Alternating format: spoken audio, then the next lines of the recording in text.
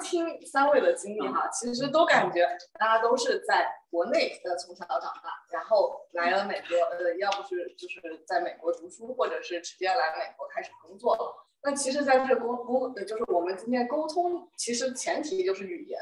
那我其实很想问大家一个问题哈，就是你们在你们在这个语言的问题解决上，是因为你们三位都都好像提到语言上的问题，那有没有就是你们用什么方法来解决语言沟通？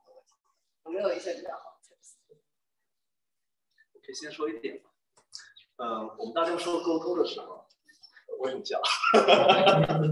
我们大家说沟通的时候，其实。会默认的想到 communication 是 speak，对吧？就说 communicate your ideas across，但其实更重要的是听，对吧？嗯，我们可以看一下中文，中文目前的这个简体化的中文，它是是左左边是个口嘛，是说，对吧？但是你看一下繁体字的英文，它左边是个 r，然后右面的下半部分是个心，用心去听，这个才是 communication 的精髓。对吧？所以就说，在我们当时，在我当时来美国的那段时间，特别是一开始第一年嘛，在呃，在那个大学里边，我没有办法去做任何的沟通，对吧？就说别人说什么我也听不懂，我说什么别人可能也听不懂。然后这个可能经历了差不多有至少一年或者两年左右这样一个一个一个时间的样子。所以呃，但是我从这个当中学到的就是说，一开始你讲出来可以去听，仔细去听，听别人到底想要讲什么，这个里边。可能是在职场里边，其实是更重要的点，在 communication 里边，你要了解别人想说什么，你才能把你的 message getting across。所以这是我的问题啊。这个就就不用。OK。我我我就说点 practical 吧。我就呃，我上课，嗯，我还有就是跟呃 friends 聊天儿，呃，我比较喜欢跟大家聊天儿，呃，还有一些我去听 podcast，我是非常有态度的，我做这件事情，因为。可能我进入职场之后，可能两三年的时间呢，就开始带团队了，然后团队还蛮大的，呃，发现就完全不够用了，不管是说话、写东西都不够，所以我必须要在呃，就是一个 hyper scale 的过程中，把我的能力提高上来，而且迅速提，就用钱解决问题。二姐上的是什么课呢？我有上，比如说就是 second language 对吧？有有做过 accent correction。呃，有做过，就是说这个 public speaking 怎么样去 address 一个 topic 这些事情。呃，我一直是从我开始工作到我现在这十年期间，我每年都有 career executive coach，以前可能是 career coach，但是 executive coach，啊，就这个 coaching 是一直呃去帮我去 sustain 这个我的 career 的 hyper growth 这个这个 trajectory。呃，没有什么特别嗯好的建议的，我觉得就是。所以我觉得，就是花钱投资自己这件事情其实很重要的，相当于节省了自己的时间。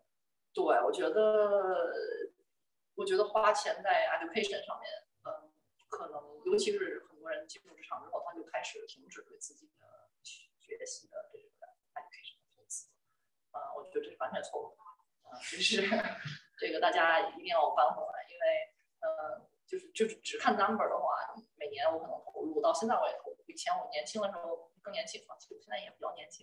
我更小了一点，我小的时候，小的时候比如说，比如说我可能会投资一年两千到五千差不多。那现在我可能投资两万到三万这样的一年的这个投入。但是你要想，呃，如果 average，呃，你可以每一年半倍 promote，那你的 salary 可能增长的话呢是呃百分之二十、百分之五十的增长。那这个东西和你配的那点小小钱比起来，基本上是可以过得去。说的非常棒。那 David，你刚刚说的这个我特别 impressive，直接从国内就到了国国外就开始工作了，能不能跟我们讲一下你的这个沟通是怎么样的？对，呃，我我觉得我沟通在职业早期的话，其实挑战挺大。嗯，挑战大其实跟刚刚分享类似，就是很多很多听懂，但是。呃，有一点可能比较好，因为在技术上沟通，你后面是有机会，而且比较经典，后面有机会可以去去多了解这些信息。所以，呃，当时一个比较好的方式就是，呃，多读 code，然后呃，多多多问，呃，然后多多多去查资料，这个其实慢慢的，呃，到后面有了 context 以后，那当中可能有些词你听懂，但是在技术上没有什么问题。那我实话实说，我今天可能跟每个人聊天，我觉得还是挺 challenge 的啊，呃，就是主要是呃还是比较偏 technical 啊，在在技术外面的一些话题的话，可能还是比较。那么呃到后面呢，嗯，我觉得中国人很多会有一个就是一个倾向，就是喜欢多做事儿，然后话可能说的少一些。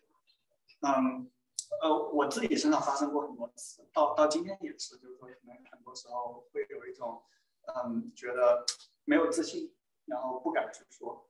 呃，所以在这个过程中，呃，我我自己积累最重要一点，多尝试。就不要因为自己害怕，然后就说不好，然后就不要说，多去尝试。很多时候，呃，可能别人的那个 threshold 或者别人的别人 threshold 可能比你想象的要低一些。就你觉得你必须要说到 perfect，那其实是说错一些，或者呃，这个这个自己说的过程中想一下，都没有什么问题。